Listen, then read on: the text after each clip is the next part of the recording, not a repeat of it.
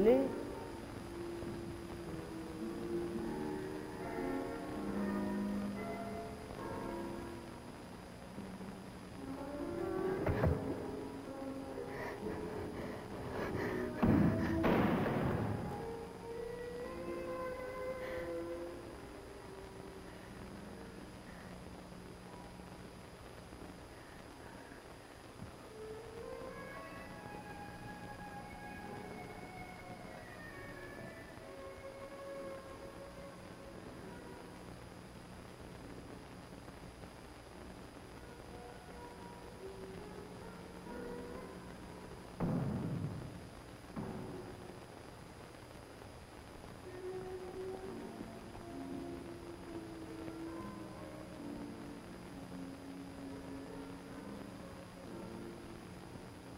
I think sometimes there's a confusion if one uses social themes.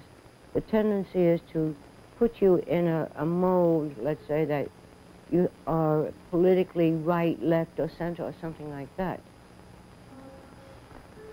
Cut. That's very good. I felt a deep social sense about what I wanted to express, and quite personally, the things that affected me deeply personally is what I, I did and commented on. And, and that's right, and turn. Two, and three.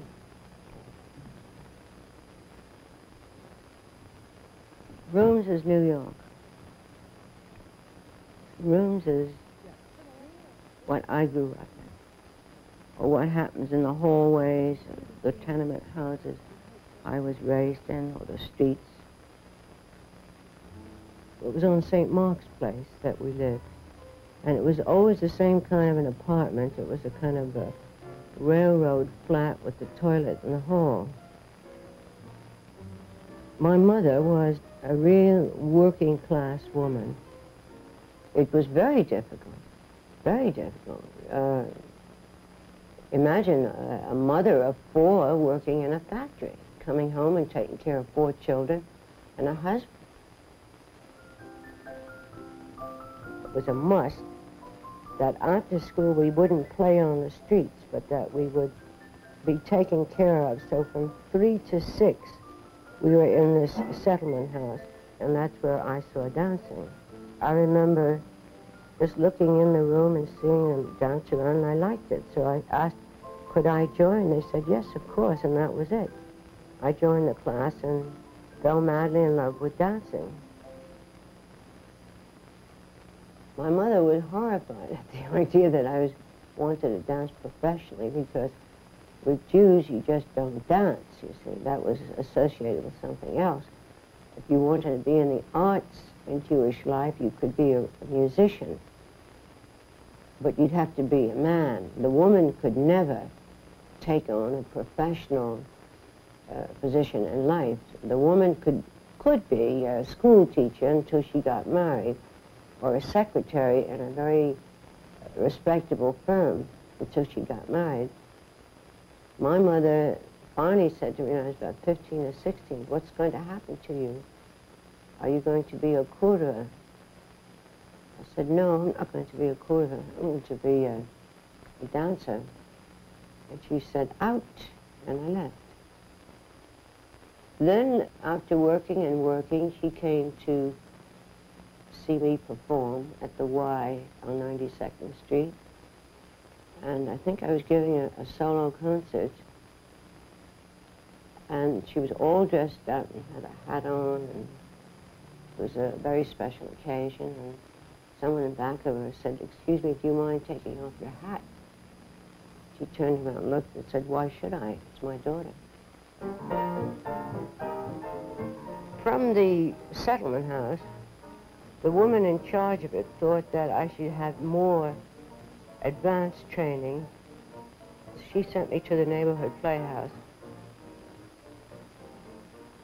And then into that, atmosphere came Martha Graham and Louis Horst to teach us modern dance and choreography. And that was a, a great turning point, especially studying with Louis Horst, studying choreography. This, two, and then you go one, two, three, four, two, two, three, four, three, two, three, four, four. And hold. And lift up. Uh, that's right. From the very first day I studied with Louis Horst, I knew that for me it wasn't just enough to be a soloist. His way of working introduced us to music. Because, you know, a lot of dancers don't know anything about music to this day. They hear it, it goes in one ear and out the other.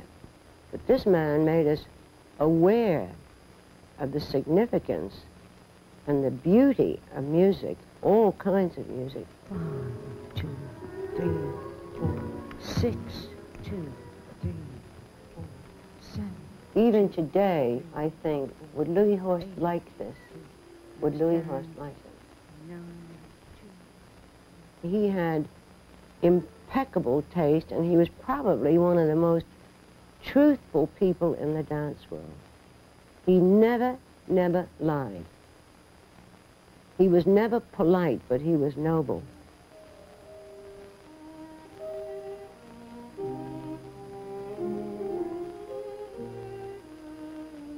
I began to give uh, concerts, solo concerts. Actually, I started solo concerts before I, I did anything with a group.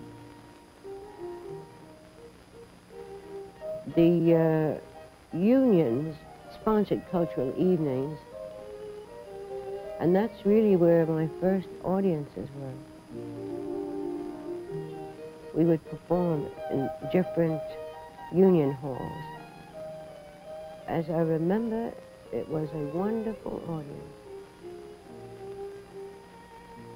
And we toured, I remember we went up to Montreal, over to Chicago, down to uh, Washington, and I think it was about a, a two-month tour. And I was thrilled because we got $50 a week.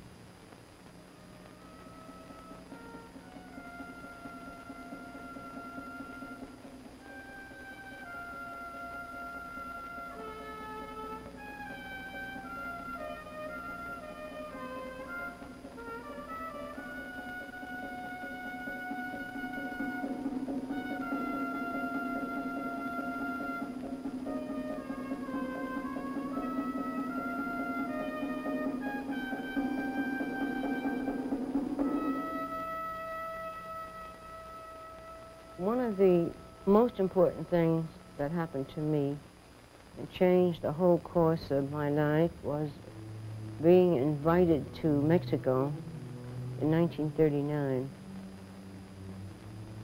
I, at that time, was using the Spanish Civil War for themes. I did a, a solo called uh, The Slaughter of the Innocents. Then we also did the group dance, War is Beautiful, which was about the, the fascists in, in Italy, which had a relationship too. And they were fascinated that these themes could be used in dance. There was a period when I was commuting from Mexico to the United States, and here uh, I began to work with actors, movement for actors. Remember doing Camino Real with Elia Kazan and Tennessee Williams, and a very important production on Broadway, Street Scene. And the music was written by Kurt Weill. And then Candide, the original Candide of Leonard Bernstein.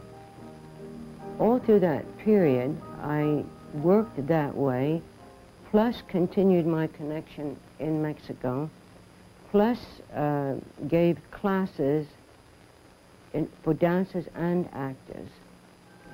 And two, and one, two, and one, two, and one, two, and one.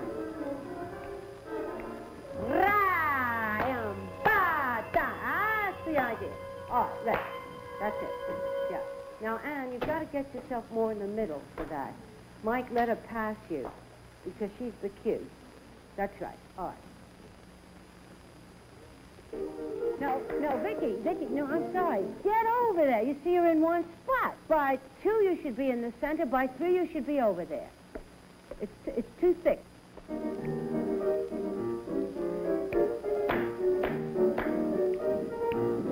No, you're late, you're late, you're late, you're late, late, you're late.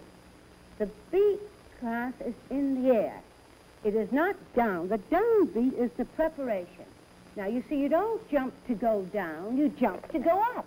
What makes you go up is the plie. Now, you are so academically bound that you just feel the plie and not the reason what it's for.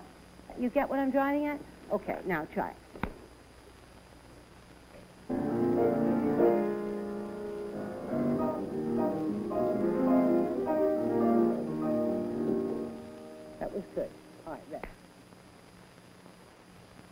Jerome Robbins was asked by the America Israel Cultural Foundation to go to Israel to see what dance company might be able to come to America and represent dance in Israel. And he saw Inbal and became very excited about them, but felt that they needed professional training but would not lose their, their basic quality. So he asked me to come with him. And I said, okay, and I went, and that was it. First year I went was in 53. I had no conception of Jewish life in Oriental countries, and to see uh, how they used the Jewish things in a Yemenite way, an Oriental way, was a completely new experience for me. I never lost my connection with Israel. Didn't expect that I would be tremendously moved that the minute the plane went down and touched the ground of Israel, I was overwhelmed with an indescribable feeling about being there. And it, uh, that extraordinary feeling never left me to this day. And then later, I did uh, a large group work, which I called Dreams, which was on the theme of the Holocaust in, in Germany. I was never in that situation myself, but I felt it very deeply. At the end of the work, uh, a barbed wire fence went down. That was the end of it, and the audience just sat there, didn't move. There was no applause, there was no sound. And then they just got up and left.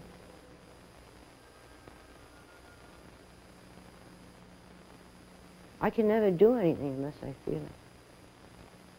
I can I never did anything from here. This comes first. And then this.